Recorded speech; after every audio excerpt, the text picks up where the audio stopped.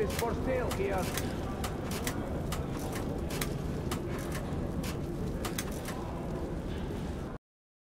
It's hard to describe my feelings at that moment.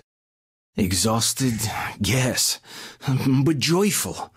I had made it. Hey, you at the rail car! Stop the engine! Do not move! Name yourselves! Oh, we're Nazis come here to take your station. Ulman, is that you? You're lucky Petrovich isn't here. He's not a man for jokes. Who's that with you?